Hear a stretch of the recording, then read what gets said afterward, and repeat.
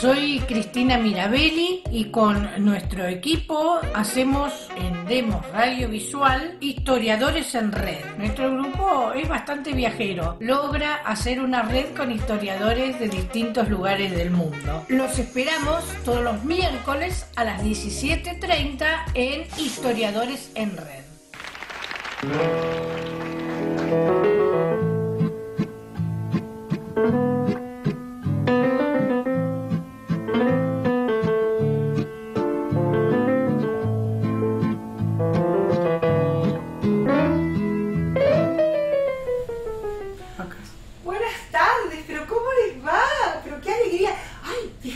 Que llego toda desarreglada, ¿no saben? Vengo viajando de lejísimo de San Isidro y traje, no me he podido cambiar. Perdón, no me presenté. Mi nombre es Mariquita Sánchez de Thompson. Bueno, para decirlo completo, es María Josefa de Todos los Santos, Sánchez de Velasco y Trillo, viuda de Thompson y Mendeville. ¿Qué tal? No tengo apellido. No. Bueno, la verdad que de mí se han dicho tantas cosas, tantas cosas, de mis tertulias, famosas tertulias. Ustedes saben que en mis tertulias yo reunía gente de todas las facciones políticas, de la cultura, del arte. Me han criticado, han hablado de mí, que yo era de avanzada. Mm, Se decía que fui la primera mujer que fumé en público. La primera mujer que manejó eh, un, un druid, un auto. La primera mujer que montó a caballo vestida de hombre. Pero lo peor de todo, ¿saben qué dicen? Que yo fui amante de Domingo, ¿Qué domingo? Domingo Faustino. Ah, mira vos. Domingo Faustino Sarmiento. Sí. Era un buen amigo, pero jamás hubiera pensado, bueno, no sé, que iba a ser algo más realmente. Pero tenía buen ojo él. Él tenía muchas gracias. Eh, sí, sí, sí, la verdad que yo tenía una vida tan extensa, tan llena de cosas, maridos, hijos, eh, amigos, tertulias, en fin. Eh, les iba a decir que yo tuve casada dos veces con Martín Thompson, el padre de mi, mi primer marido, el padre de mis hijos, y después, de parte de mis hijos, me casé con Jean-Baptiste de Medeville, un francés. ¿Y saben qué decían de mí? Que eso es lo que más me indignaba. Que ¿Qué yo era europeizante. No Por puede ser. Dios, por Dios, una criolla de ley como Mariquita Sánchez de Thompson, porque me casé, de hecho, Martín Thompson, hijo de ingleses, Sí. defendió el fuerte de Buenos Aires mejor que cualquier criollo. Claro.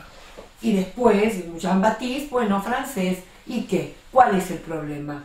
Yo estuve siempre presente en las invasiones inglesas, eh, confeccionando ca- escarapelas con las señoras, trabajando mano a mano por la educación. Exacto. Mujeres, Muy por la educación de las mujeres. Fui la primer mujer presidenta de una sociedad no gubernamental, la sociedad de beneficencia Mira, cuántas cosas. Pero sobre todo, sobre todo, eh, creo que siempre me, me- me hizo seguir adelante ese deseo de aprender, de, de educar, Educar. de que las mujeres progresaran, de que salieran de, su, de sus casas y pudieran estudiar. Porque también escribías. Escribí. Escribiste Fui- bien. te dice de mí que fui la primer corresponsal de guerra, de hecho. Mira, claro. Y sí, por supuesto, cuando yo me refugié, me exilié en Montevideo. En Montevideo, sí. ¿Por qué te fuiste? Porque tuve un altercado con un amigo, con Juan Manuel. Ah, mira vos, sí. Que eran amigos de chicos. Juan Manuel, nos hemos criado de niños, pero realmente su gobierno, bueno, yo no estaba de acuerdo con muchas cosas, no estaba de acuerdo con la mazorca. Yo soy muy abierta en muchos temas, pero realmente no tolero las dictaduras. Claro. Y era una dictadura.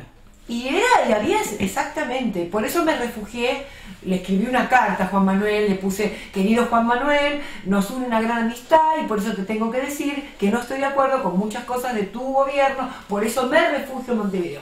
Él me contestó, Te contestó. no te vayas mariquita, pero yo ya estaba instalada en Montevideo. Pero ¿Cuántos vos te respetaba mucho.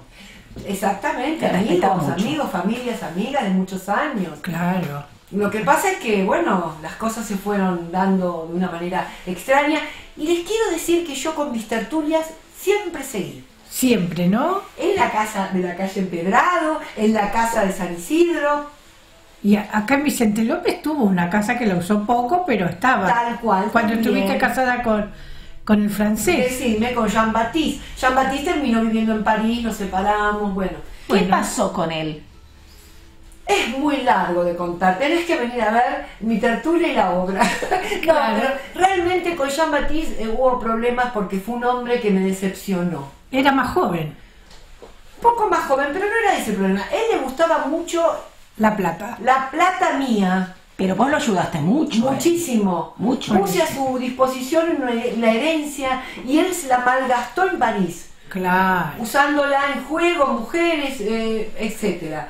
Cuando se murió, yo no pude cobrar ni un peso de la herencia. Pero- Perdí un montón de herencia por bueno, amor. Por Pero amor. ¿Pero con él tuviste hijos? Con él tuve dos hijos. sí, sí, Dos sí. hijos, mira. Bueno, les quiero decir que estas tertulias que son tan maravillosas, donde se baila minué, Sí. donde se toca el piano, Y se cuenta todo. se cuenta todo.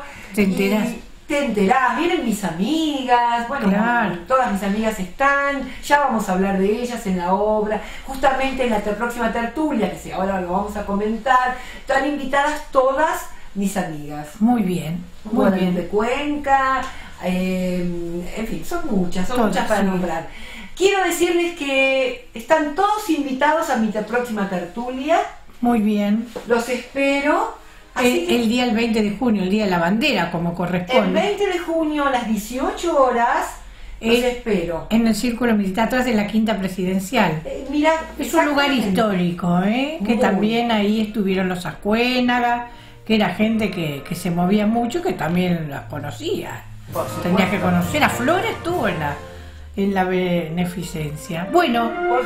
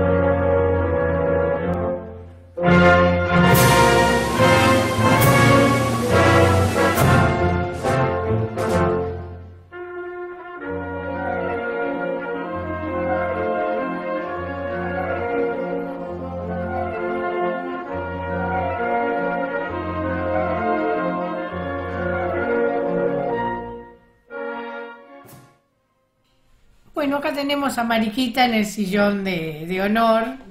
Todo. Ahora vamos a hablar de, este, de la Mariquita actual, que es la que ya que ha- ya posesionó el personaje, pero en verdad ella es Silvia Korn, Silvina. actriz- Silvina. Silvina Korn. Está bueno esto de posesionarte porque haces que realmente lo, lo vivís al personaje. Sí, sí, la verdad que sí. Sinceramente yo empiezo el, el espectáculo hablando de como un relato de que yo cuento cómo me identifiqué desde chica, bueno, como una especie de que fui eh, una seguidora de ella toda la vida y de verdad, la verdad que estudiando y leyendo e investigando es una mujer apasionante Sí. porque Es verdad. pensemos el momento histórico, Claro. ¿no? que realmente las mujeres no podían nada. Nada. Ella le, le ruega al padre Para que casarse. la deje, no, que le deje estudiar, aprender a leer y escribir. Claro, pero ¿por qué no las dejaban de leer y escribir? Bueno, Porque- ok. Porque mandaban las esquelas a los a los novios. Las cartas de amor. Claro, entonces los padres no querían eso. Claro, ella en un momento le dice, ay papito, te prometo que no voy a, no voy a escribir cartas de amor. Y después Y es lo dice, que más hizo. Es lo que más hizo. Pero se perdieron las cartas de, de Martín Jacob eh, porque estaban en, en España, las tenía un hijo de Martín. Ma- Martín, el hijo, vos decís eh, Thompson. Thompson. Thompson. Ah, ok, Ella cuando estaba, eh, viste, eh, Que él y está la allá. Mandaron a Estados Unidos. Se perdieron. cartas, se perdieron en la guerra civil española, lamentablemente. Vos sabés que hay un paralelismo entre la vida y el, drama, ¿no? De esta mujer que pierde a su marido en alta mar o ella en circunstancias gran amor. muy extrañas con Guadalupe Cuenca, con Mariano Moreno. Claro, estaban de Que se- amigas y compañeras. Incluso pide durante muchos años que le den una pensión, tiene todo un tema con, con la, no, no sé cuál de las, de las juntas militares que no le daban. Bueno, este, y después eh, sí, el- el- la verdad que siguiendo la vida de ella, Sí. la obra mía es como que cuenta desde lo que sería su juventud, Sí. momento de esplendor, hasta el final, ¿no? Claro. La vejez y, el, y la Sí, fue una soledad. vida larga, porque Vivió ella muchos murió años. cerca de 80 años. Vivió 82 años. 82 años. Claro. 82 años, que era mucho. ya. Era mucho. Sí, para esa época. Y bueno, básicamente yo lo que hago es un, ciclo de teatro histórico, justa- justamente, bueno, un poco nos, nos unimos con Cristina. Por ella es- eso, ella claro. es Yo la conocí porque estuvimos, eh, claro, en una reunión donde premiaban mujeres, le daban el premio Julieta Lanteri a nuestra amiga común María Marta que Maenza. le mandamos una- un abrazo, la invité, pero no podía. Ella eh, fue legisladora y hizo muchas cosas por la mujer, la comisaría de la mujer, legisló para todo eso, pero ella ocupa un lugar interesante en Cancillería y con el foro de mujeres del Mercosur y estaban muchas en la reunión que fuimos, Sí. entonces María Marta Sí, sí. dice, tenés que conocerla, hizo el nexo y me gustó, entonces preparamos y, y justo da para este programa Historiadores en Red traer personalmente a Mariquita Sánchez de Tomás. No, no tener acá a Mariquita es un lujo. Un programa especial. Fui dirigida por, por Osvaldo Tecer, que es un gran director, y, Sí.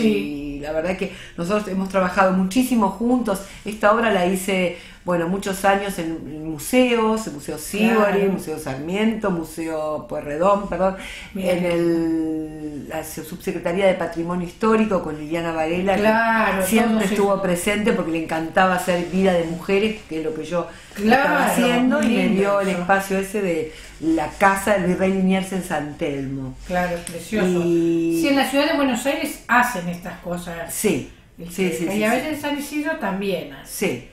Eh, tengo esta también moda de recreación histórica que lo hacen en distintos lugares. del recrear, mundo, exacto. Que tuvimos Exacto, acá. sí, sí, sí, sí. Yo tengo también, bueno, un poco estamos viendo con Cristina para armar como un ciclo donde aparecería Ana Díaz, la primer vecina de Buenos Aires, la mujer Claro. que vino con Juan de Garay, la Maldonada, la mujer que vino con Pedro Mendoza. Bueno, esto es mucho más atrás, ¿no? Hay muchas mujeres en las que Y después estamos pensando también cosas que tengan que ver con algo un poco más de... de la zona, pero lo mismo, porque ahora todo es universal, esta radio sale a todo el mundo. Bueno, así que... Mandamos, llegas a España. No, y también llegas- de distintas épocas, ¿no? Es interesante tomar mujeres que trascendieron en distintas épocas. Claro. En este caso, lo- la época colonial. Porque digamos, estamos en la temporada de las fiestas patrias. Tal cual. Eso es importante. Así que bueno, pero qué lindo entonces todo esto. Y mm, también podrías hacer a Julieta Lanteri, porque ahora que está Sí, reeditada, es que excelente preparar ese es personaje. Sí. ¿no? Sí, sí, sí, Sí, sí, preparar sí, ese sí. personaje es interesante. Bueno, muy bien todo esto, así que los esperamos, ahí está el cartel, vamos a hacer la primera presentación de el mismo 20 de junio, una buena forma de eh, Sí. compartir las vivencias de, de la patria, ¿no? Sí, estamos arrancando con este ciclo de teatro histórico sobre mujeres el día jueves 20. A las 18. Muy ¿eh? bien. Eh, Villate y Libertador. Para que Es se el- atrás de la quinta presidencia. El espacio, digamos, para... Eh, claro, es un teatro con una consumición. Tienen una consumición tal. Es una especie de un teatro unipersonal, que son diferentes. Es un unipersonal eh, con un concepto sí, que totalmente histórico, que también pueden venir con la familia, digamos, Sí. es, es- es familia, es... es, eh, Podríamos pensar para hacerlo en la casa que fue de Mariquita, que ahora es el Club Teléfono. me encantaría. Pero ahí es un lugar justo, ¿no es cierto? Sí, tenemos que ¿Y, ir a. y haces otro gestionarlo. personaje aparte de Mariquita o...? Sí, hago Ana Díaz? Ana Díaz, la primer vecina de Buenos Aires, la Maldonada. Justo que es el día del vecino. Claro, justo. El 11 de junio. Y estoy en- eh, preparando algunas más, eh, digamos. Guadalupe más. Cuenca. Las amigas de Mariquita. Claro. Son las eh, varias, digamos. Está Guadalupe Cuenca, está la Perichona. Ah, es un la lindo Perichona. personaje. La Perichona está. eh, mm, Que no era de las amigas, pero era de la época, era Pero andaba, y contemporánea. andaba. eran, eran, ¿eh? Sí, Eran de la época, sí, sí, sí, sí. Sí, sí, puede sí. ser todas las mujeres que se Que mueven. era la. Todas las personas que se Claro, Era la la Gorman, o sea, la abuela de Camila. la abuela de Camila. que fue llevada por encerraron digamos Sí, tuvo su también ella fue como amante del virrey Liniers Claro, eh, eh, en realidad Liniers fue el que le puso la perichona de... eh, sí, Porque era que, que ella tiró su de- pañuelito y no sé Perichón de O'Gorman. no, no, perichona era un sobrenombre. Pero el apellido real era Perichón. Ah, perichón, Ana, perichón, Casa- sí, Ana sí. Perichón Ana Perichón de O'Gorman, casada claro. con O'Gorman, que era el médico. tal cual Claro, Claro. el médico.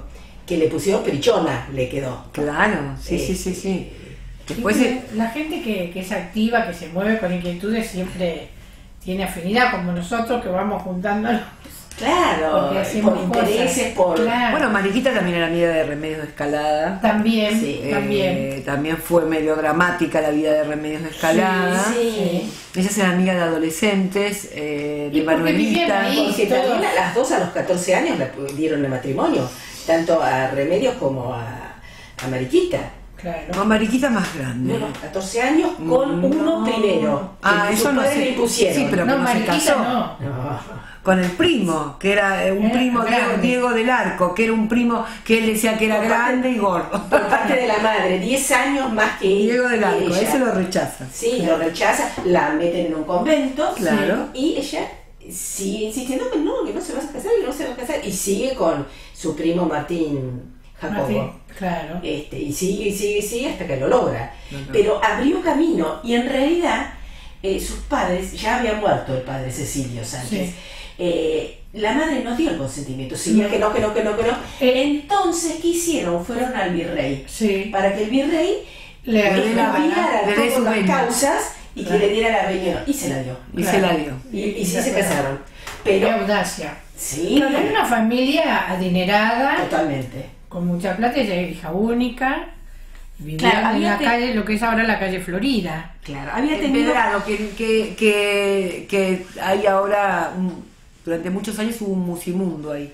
Claro, pero en la casa de. Mariquita, Claro. sobre Florida. Este, Florida 2, 236 creo que. es. Claro. Y después también un dato, ustedes que Y son Remedios Escalada también vivían, los Escalada vivían ahí cerca, eran todos vecinos. porque También, y sí, la porque ciudad vivían era en la muy zona. pequeña, era como un pueblito. Es alucinante. ¿no? Entonces En las esa época. familias se conocían mucho. ¿Qué ibas a decir? No, iba a decir que ustedes que les gustan todos estos datos históricos, en Corrientes y Florida, arriba de un Burger King hay una placa que dice aquí vivió Ana Díaz, la primera Ah, sí, lo he visto, sí, sí, sí. Esa fue la, la casa que le dieron, el lote. Fue la porque- primera mujer que le dieron un lote. Claro, Juan de Garay Sin marido, vino- ¿no? Acá era segunda, era viuda. Que era viuda. La segunda, ya- discúlpame, ya era otra condición ser viuda, porque una cosa Ah, sí. es soltera, Y otra que era viuda. de tu padre, de tu hermano, de tu marido, Sí, y otra cosa era viuda. Ella Ya siendo viuda vos podías eh, elegir un marido, lo que hizo Mariquita que eligió a Mendeví. Ah, Ella lo eligió, se equivocó, pobre. pero el caso de Ana Díaz, que, que estábamos diciendo, ella vino desde Asunción con Juan de Garay, eran 64 familias para fundar la ciudad de la Trinidad y el puerto de Santa María de Buenos Aires, que no había nada, era todo yuyo, un baldío, y se hizo una fundación tradicional que llevó un rito, todo de plantar un, este, un palo, El palo de la sombra justicia. del árbol, claro, y, y de marcar en la plaza mayor y alrededor los cuadrados que son Sí, sí. las manzanas y las manzanas en cuartos que son Tal los cual. lotes que le daba a cada uno.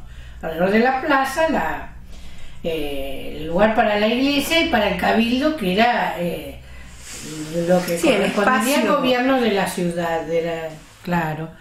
Y entonces, en el momento que le dio el título de... A uno de ellos es Ana Díaz, que le dio un lote ahí y le dio una chacra en esta zona norte, que, que son esas antiguas Ana chacras. Díaz vino en una tripulación que era la. En realidad, Nadia fue la madre del primer bebé nacido porteño acá. Mira, claro. Este, porque había bebés, pero de, de indias. Y Claro. el primer bebé porteño Era el Fue hijo Ana de Díaz. Ana Díaz. nació acá el bebé, o sea, fue, viste, Claro, importante. muy importante. Bueno, espero verlas Sí. a todos. Pero de- de lo que decía, una vez que le da el título de propiedad, se convertía en vecino de la Sí. ciudad, que era un título importantísimo porque es la persona que está radicada, propietaria, que echa raíces. No es un ave de paso, ni un esclavo, ni nada. Para esa legislación de las leyes de India era importante.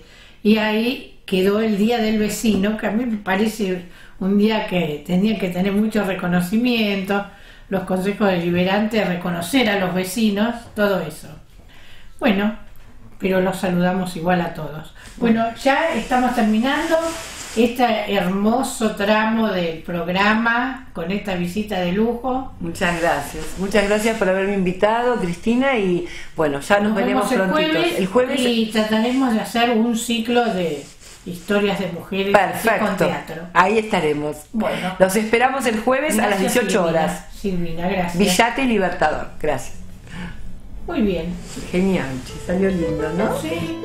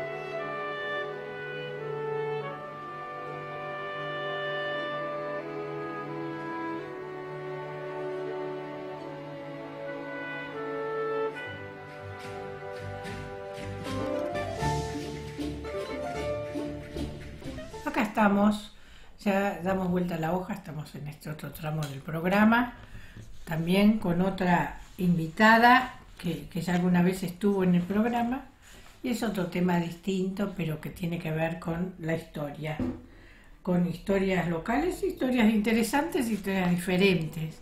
Acá está con nosotros Viviana Brisón, que es investigadora, historiadora y de un tema eh, muy puntual que es la vida de Benjamín Solari Parravicini.